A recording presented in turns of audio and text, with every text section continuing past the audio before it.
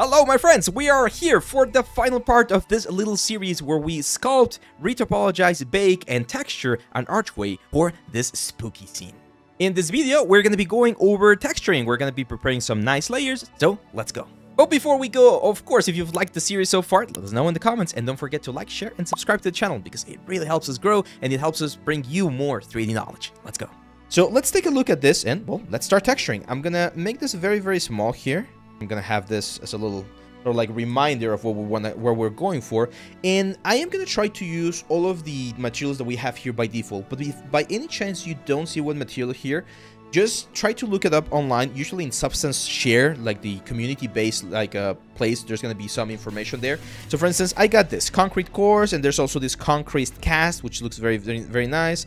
There's this clay earthenware even this one right here. I really like this clay terracotta. I think this is a good sort of like starting point. So i'm just going to drop this here on the layers. Now of course this color by default is not exactly the color that i'm looking for. So what i can do is i can just start grabbing the colors directly from the elements. I'm going to go for this neutral gray. Now a rule of thumb that i follow when I'm texturing things is I always like to start with a little bit of a darker color before we jump onto the onto the lighter colors because when you jump into the lighter colors it's very difficult to bring them back okay? So so it's a good idea to start with something like this.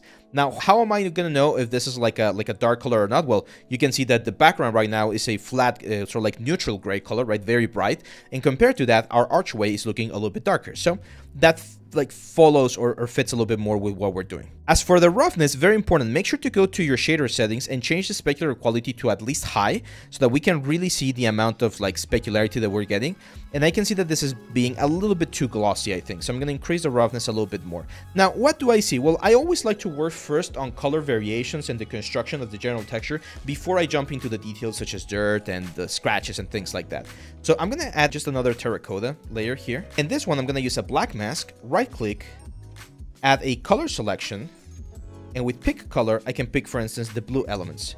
And as you can see, that will fill all of the stones with the same color. Now on this clay terracotta, I actually just want color, so I'm gonna press Alt and click on the on the color itself so that it only applies color information so the roughness is being inherited from the previous layer as well as the bumpiness and all that stuff and what I can do here is, of course, blend them. We can use overlay, which is going to combine the colors. In this case, I think that one looks quite, quite nice. And I always like to play with, of course, a little bit of this, um, like a blending effect right there. So as you can see, we're, we're really close to the to the stone color, but it just gives a little bit of an extra change or a different like take on the on the colors or on the on the hues, so that we get something that looks a little bit more interesting. Let's do another clay terracotta on top of this one. There we go, right there. This one, I'm definitely going to change the colors and I'm going to go a little bit crazy.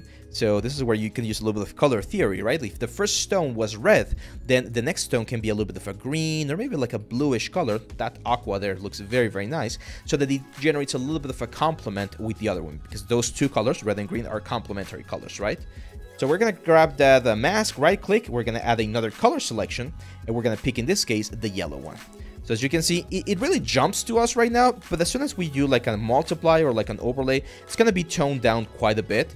And just having a little bit of change there, it's, it's definitely going to help. Again, Alt and click so that it only affects the color that we're only changing the hue. And look at that, we get a very, very nice sort of like variation in color. One way you can evaluate your colors while, while inside of Substance is to press the letter C to go into the channels. And look at that. I know it's not too much of a difference, but hopefully you can all tell that there's a little bit of a change there on the stone. So that's it. We got the first sort of like uh, generation of layers, the first like part, which is the basic construction of our elements. The next one is of course the typical ones that we all know.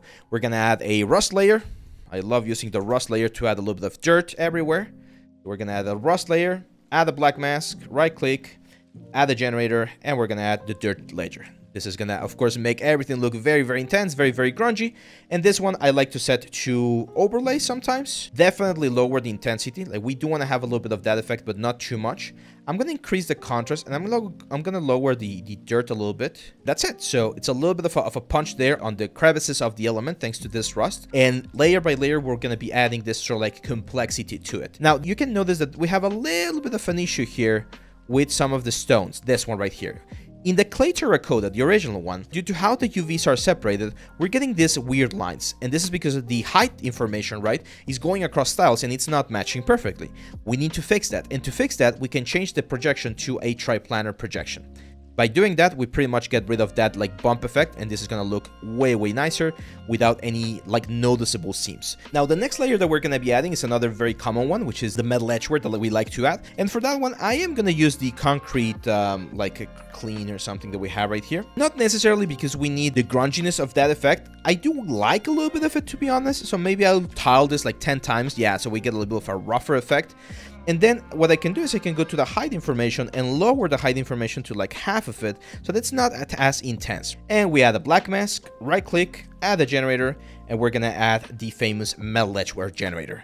This is gonna hit all of the borders of the stone. It's gonna look very, very nice. This one I always like to set to on the on the base color. I always like to set it to linear dodge so that it adds on top of the colors. And what I'm gonna do here is I'm just gonna lower this quite a bit because it, it should be able to be seen from far away or whatever, but it shouldn't be too obvious. And this is where we can start incorporating something that's a little bit more complex, like the mixing between masks, right? So I like to always add a fill layer and on this fill layer, use something like a clouds mask. So in this clouds mask, I can press Alt and click to see what the mask is doing. And you can see right now the clouds is pretty much overlapping or overriding whatever we have on the metal edge wear. This is what the metal edge wear was doing originally, and this is what the clouds is doing. Well, we can multiply. We can multiply the clouds against the other one. As you can see, we're going to get a blend between them. Now, if you go to the clouds and change, for instance, the balance, right? Decrease the balance or increase the contrast, we're going to be able to get metal edge wear on only certain aspects or certain parts of the element. And the cool thing here is you can always go to the seed and randomize the seed to get a slightly different effect on how this mask is like interacting. If I take a look at M now, if I press M to go into the into the main color, you're gonna see how how much nicer this looks. Instead of having again a very obvious and very like a dirty sort of like effect right here, we're getting something that looks way way way more interesting and allows us to have a more sort of like a nicer representation of the element. And I want to like clean them up. No, not too much. You can see on the reference we don't got too much edge wear. So it should be something very, very subtle. Something like that. At any point, you can go here and for instance add a paint layer and paint out certain areas that you don't want. For instance, it doesn't make sense to me that we have a lot of like metal edge wear on this area. So I can go to my brushes, grab something like a dirt brush or dirt splash brush right here. And just with that paint layer, paint out certain parts of the element or or if I want to I could be like hey you know what? I would like to have a little bit more damage on this area. Now in order to make this thing a little bit more interesting we need to look at the reference and see what is going on here that makes this look well, as intense as it does. And the first thing that I notice is that there's definitely a little bit of moss going around. Whenever I need to do moss, I actually like using rust, but I just changed a couple of values uh, about it. So I'm going to go here to the top part with the metal rust, and I'm going to go down here, and I'm going to bring the roughness down a little bit. So it's going to be definitely a little bit more shiny. And on the rust color, I'm going to change this rust color to not a saturated green. It's like a like a mix between green and yellowish, so something like that. And it's usually a little bit darker, so should look a little bit slimy like this. I'm gonna add a black mask and I'm gonna start playing with filters. So I'm gonna add a fill right here and if I look for some like grunge textures, I should be able to find some filters that we can use to just generate a general thing like this one, grunge cobweb, that looks very nice. Or this one right here, grunge crack deep, that one's also interesting. We also have this one right here, grunge concrete spots. I think that one's actually gonna be probably the best. And look at that immediately we get a very very nice sort of like effect thanks to this filter right here. Play a little bit with the contrast. I'm definitely going to play with the tiling to get this into a smaller sort of like uh, moss section. Let's try four where i think it's a good number there we go so we're going to do a four section right there and what we can do is, again, play a little bit with the balance, which is how much of this we're going to be seeing. Play a little bit with the contrast. I think the, the green is still a little bit too bright, so I'm going to make it a little bit more saturated, but a little bit darker. This is the Lady of the Moor, right? So we would expect to see a little bit of this, and you can see how, how that's going to change a little bit of the of the specularity of the of the gate, right? When the shine light shines through it, we're going to see these areas that are a little bit more interesting. Uh, I think we can have a little bit more balance back in the mask.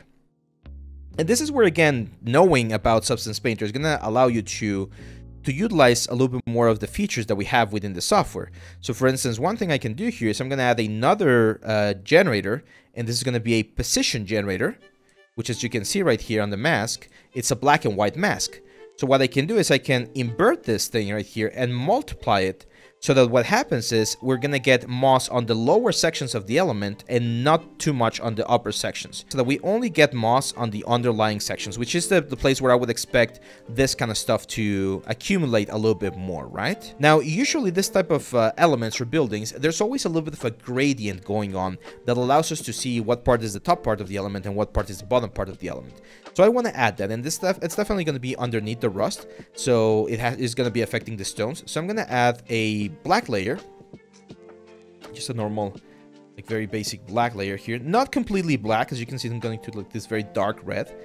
Um, this is only going to affect color. I'm going to add a black mask. Right click, add the generator, and we're going to add another position generator. Now I'm going to flip that one right there. And we can play here with the with the balance. I just want to have a little bit of a darker tone on the on the lower like stones, if that makes sense. The lower stones are going to have a little bit of a darker thing. There's more dirt, there's more moss, there's more things that are going to be accumulated in that particular area. We can play around with other things, like instead of using uh, this, we can use material mode and look, for instance, for this like cracked canyon rock or whatever. And what's going to happen is now that cracked canyon rock is going to be here on the underlying section of the element. If we change the color of this thing to a darker like canyon color, I'm going to utilize a little bit of this blending to get some nice interesting effects and we overlay this. Actually, normal was looking quite nice. Maybe just like lowering the intensity there. And making sure that this is only affecting color. No roughness or normal. So just color information. That's already going to give me an interesting effect where the lower portion of the element, it's a little bit darker, in this case even a little bit more saturated than the upper part of the of the stones. Now to modify the upper part of the stones, which is which or of the of the stones, which also have a little bit of, a, of an effect there, I'm gonna use a different material. We can go back here to materials, and let's say we're gonna use cork natural. Looks nice. I'm not sure if you guys have that one. Hopefully you do. So I don't remember if I download that one at any point, and I like it because it has again a little bit of an interesting color texture. I'm going to turn everything off. This is going to be set to linear dodge because it's going to add to the colors. It's going to add a black mask and we're going to use another generator. In this case, the generator is going to be a light generator. And this light generator is going to be hitting the top parts of the stones. Can you see that right there? And we can play around with this highlight level with the glossiness. We can lower it a little bit. And as you can see, we're going to get a very nice, again, like gradient where the top parts of the stones are going to be like hitting this or having this sort of like nice little layer of dust or something like that. Of course, as we bring this down, we're going to be able to, to generate a very interesting look without spending too much energy trying to texture everything. And you can see it right there. Look at how much this changes, right? Especially from like a top view, it's definitely to happen. It's definitely to be seen. And this is something that we see in all the buildings. And it also has to do with the sun. The sun is constantly hitting like objects in the world and it bleaches things out. And the things that are closer to the top are to get bleached a little, a little bit more intensely the things that are on the on the bottom. Now, I don't like this like uniform of like cape or thing that we have right there. So what we can do here is we can add another generator Let's add like a dirt generator, for instance. And then multiply this dirt generator, or in this case, I think it's going to be divide. Yeah, there we go. And as you can see, this dirt generator is going to be able to sort of like break things down a little bit so that it's not as obvious. That actually looks pretty damn sick. so again, by doing a little bit of blending, we're able to bring way more contrast to this thing and make it look a lot more interesting. So finally, to sort of like wrap this up, I want to show you how we can add the like lichen thing right here, like those white elements. That's lichen. It's a spe specific type of uh, symbiotic relationship between fungi and algae, if I'm not mistaken. Uh, I'm to keep height in this one actually, and I'm to use a very light color on both of them. There we go. Black mask. And I'm going to look for another fill layer that gives me that sort of stuff. Like this one right here. Oh, that's a lot. This one paint peel looks looks interesting. So let me find the proper tiling, so the proper size. There we go. I like that one. It's definitely not looking white enough, so we're definitely going to push the white a lot more. Probably lower the intensity there a little bit, but we do want to have the contrast, right? And once we have the contrast, I'm to add a paint layer here. And I'm to go back to my brushes, grab some sort of like a dirt brush right here again. And following this thing, you can see that we're to see a lot more on the upper part. So I'm to erase a lot of this, especially here on the bottom part where we're not to have too much. And this again, this is the artistic part of things where where we really spend time like making sure things look as interesting and as nice as possible. And again, similar to how we did this when we were sculpting the element, I'm, I'm looking at the balance between the elements, right? Like, it doesn't have to be perfectly balanced all the time, like Thanos would say, right? But it definitely has to have some sort of like idea behind it. So if I'm if I'm if I see that there's a little bit too much on one place, I might remove it. If I see that there's a little bit too little on another place, I might add a little bit more. So there we go. We have successfully built this archway right here that matches with the sort of like shape that we want to have, right? It has like a very nice structure. We're using PBR materials. We're following pretty much all of the rules. One more thing we can add here, for instance, are like scratches. Those always sort of like help. So I'm gonna add a new layer here. It's just gonna be a white layer, very rough. Add a black mask, right click, again, fill layer. And I really like using the the scratches that we have here. There's ones right here look tend to look quite nice. There we go. And uh, again, linear dodge, right? To, to add on top and then like really lower the intensity. So that's just to give me a little bit of different striations on, on some of the stones. Again, bringing a little bit more complexity to the whole thing. Paint layer as always. And delete or, or remove some of them so that it's not overwhelming. Those ones in particular, the, the scratches, one thing that we can do is go to the height information. And if we turn it on, we can actually push them in a little bit. Not too much, right? Like, we don't want to, like, overdo it where it, like, it's too, too intense. But if we just do, like, a very sort of, like, simple scratch effect right there, that could potentially help with the, um, with the construction of the, of the whole thing. And that's it. I think, again, we can spend hours and hours and hours working on assets like this uh, until they look absolutely freaking amazing. But I think that we're in a in a very good like spot with this particular one right here. And with this, we are finished, my friends. With this, we are completely done with this section of the little graveyard that we assembled. I really like the final result that we get right here, and hopefully you do too. Along this series, I've shown you several different techniques that you can use on your own projects. This can be done with statues, pillars, wall sections, and a bunch of other different different things. So hopefully with all the tools that we share here, you now have even more available techniques and skills for your own projects. If you like the series so far, don't forget to like, share, subscribe, leave us a comment. It really helps to know what you guys like and that way I can prepare more stuff, of course, for you, my friends. Thank you very much and don't forget, always learning, always improve.